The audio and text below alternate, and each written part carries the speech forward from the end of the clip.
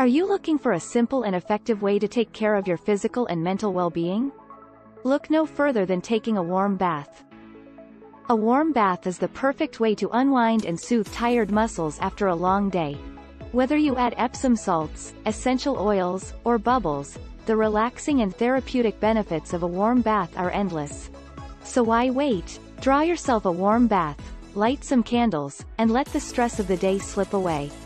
The warm water will help to relieve muscle tension and soothe your mind, leaving you feeling relaxed, refreshed, and rejuvenated.